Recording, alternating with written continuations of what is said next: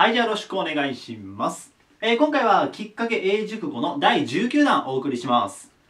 で、今回はこの5つの熟語をやっていきますので、まずこの状態で意味のテストしたい方はぜひ動画止めてやってみてください。では、早速ね、1番からやっていきましょう。で、まず1番が ask A to B です。ask A to B。で、これね、A の部分に人が来ます。まあ、人の名前だったらそのままで構わないんですけど、もし、彼とか言いたかったら、he, his, him, his って、あの、覚えるじゃないですか、順番で。その3番目使ってください。he, his, him。ここね。で、人が来て、その人に、B のところ、動詞が来ます。動詞の原型がね、来るので、B ごめん、するように、頼む。こういう風に使います。例えばさっきみたいに him を使えば、彼に、じゃないでしょうかな。まあ、手伝うように頼むとか、そういう風にヘルプを持ってくればいいからね。っていうに使ってください。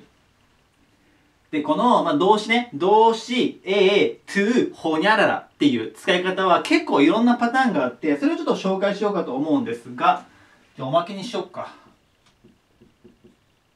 結構多くね、この使い方。例えば、どうしよう、テル行こうか。Ask のとこは tell に変わります。tell A to B。右はきついかな？いや、いけるかな？いや、下に行こう。で、同じように、ここ人が来るので、A に B するように。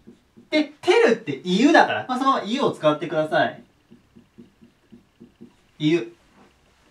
こうやって使うこともできるし、もう一個いくか。もう一個で want っていくか。want。あ、ごめん。失礼。動いちゃった。体重乗せすぎた。want A to B。で、want 欲しいなので、まあ、want 使って、A に B してほしい。こういうふうに使うことができます。で、まあ、使い方がすごく似ているので、同じように覚えちゃうと、ね、いいかなと思います。これよく出てきますね。ちょっと曲がっていくから大丈夫かなごめんよ。で、次が these days ですね。these days。まあこれ長文とかで、まあ、出てくるやつなんですが、意味覚えておくと便利です。これが、この頃はっていう意味になります。この頃はこうこうこうだよみたいな感じで使います。で、まあ同じような感じで one day ですね。まあこっちの方が出てくるイメージありますけど、one day は、ある日です。これも長文で出てきますね。one day, ほにゃららほにゃららみたいな。ある日、彼はこうこうこう何々をしたみたいな感じで出てきます。で、次が happen to ですね。happen to。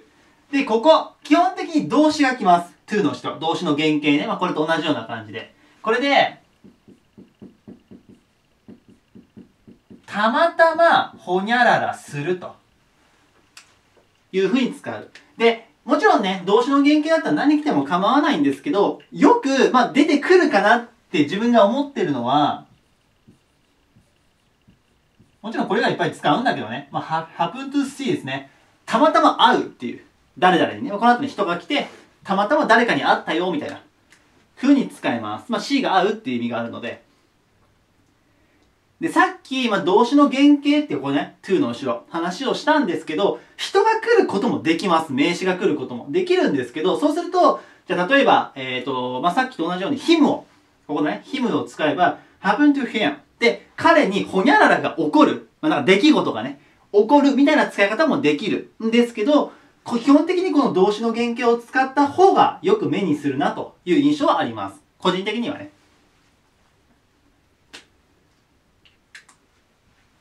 で、ラストです。次が after a while ですね。after a while。で、これが、しばらくしてって意味です。しばらくしてっていう。で、これすごく似てるのを以前やっていて、これ似てるでいきましょうか。英熟語シリーズの、確かに第3弾かな違ったらごめん。やったと思うんですけど、for while っていう。after じゃなくて for を使うっていう。で、これすごく似てて、意味も似てます、基本的には。で、何が似てるって、両方しばらくを使うっていうね。for a while は、